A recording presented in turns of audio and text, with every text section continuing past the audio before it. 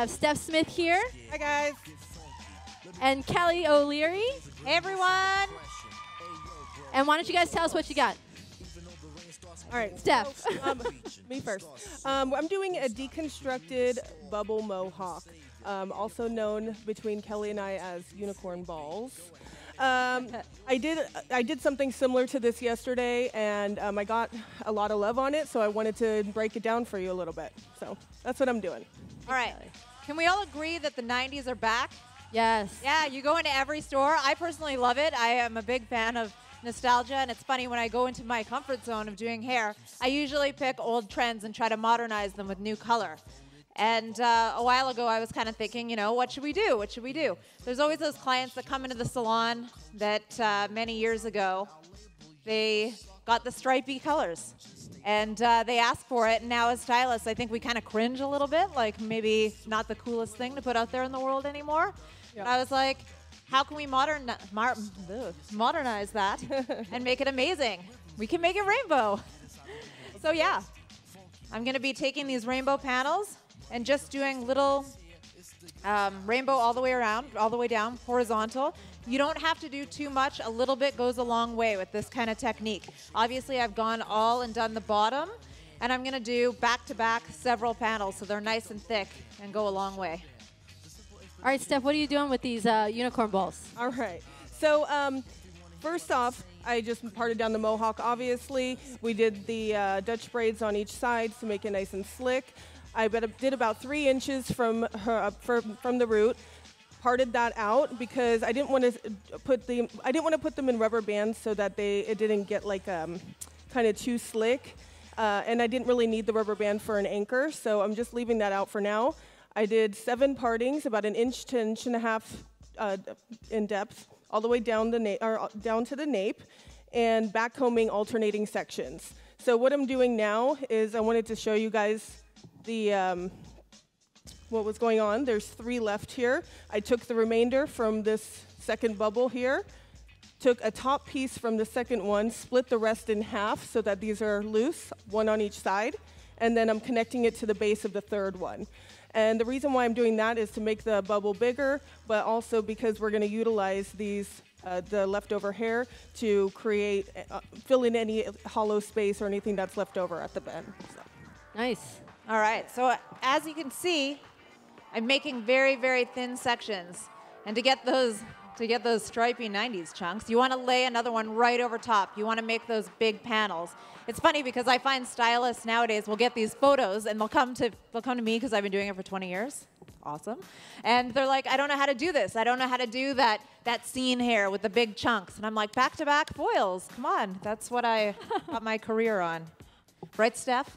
Oh yeah, the chunky Kelly Clarkson highlights. Oh yeah. Yeah, we talked about those for probably an hour last night. I think that was unnecessary, poss- possibly. You know What's what? the- We what is- uh, what's your formulation, Kelly? What are you mixing there? Okay, so all of these are all the diluted neons. I love the pas- I love the neons. They are amazing.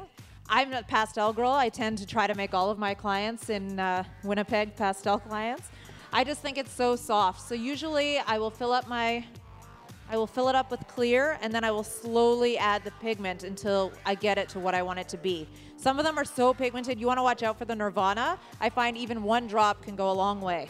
That's right. And we always definitely start with the lightest color, right? Yeah. Because if we start with a deeply pigmented color, it'll take you quite a bit of clear to ever get anywhere. You start with that clear and a little bit of pigment as you go, and you'll really get where you want without wasting.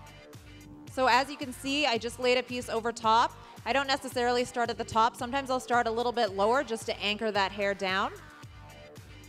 Let's say that a hair stretches and falls over top, and then you have one hair that's orange and you're looking at it going, this has ruined my life.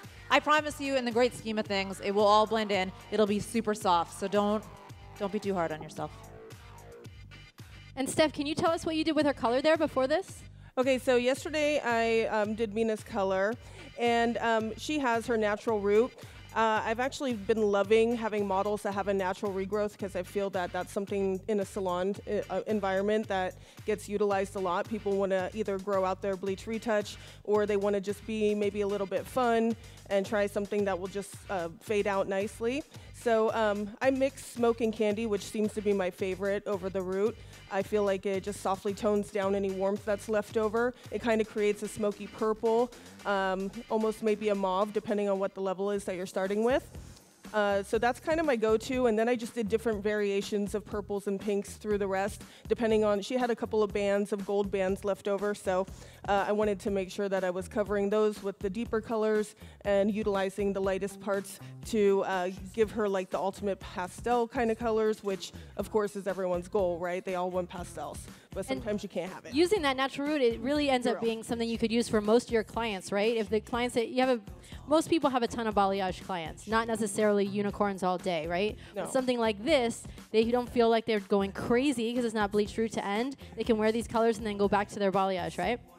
Yeah, exactly. It's it's actually, I love the way um, a balayage uh, vivid looks after it's like almost all the way uh, rinsed out because you're just getting a little bit of those hues uh, closer up to the root, and um, it's great. I love it. So I often say that it's like a gateway, right? Like they'll always come back wanting a little bit more. Purple. the Purple.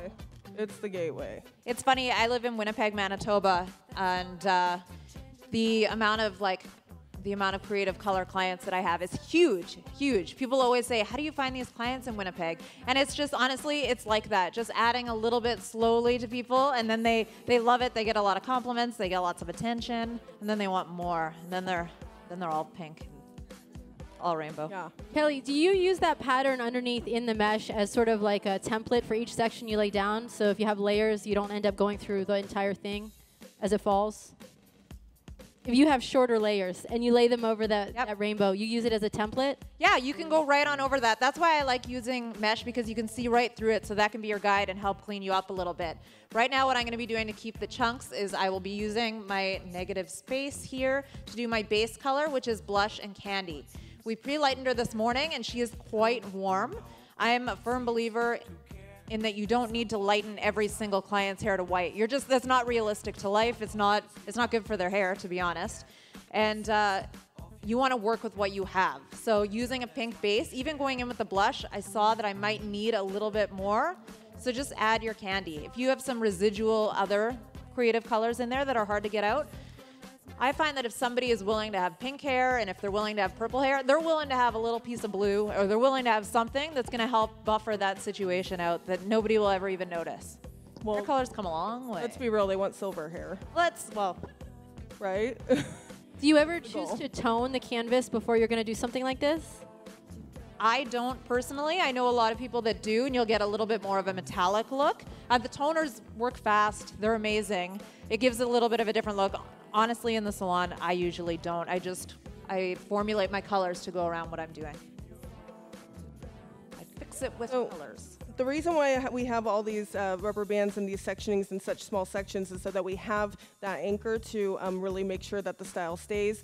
Um, you would think that you just put three pon- ponytails, backcomb the shit out of it, and then start pinning around it. But in actuality, that's probably it's, more likely to fall depending on the texture of their hair.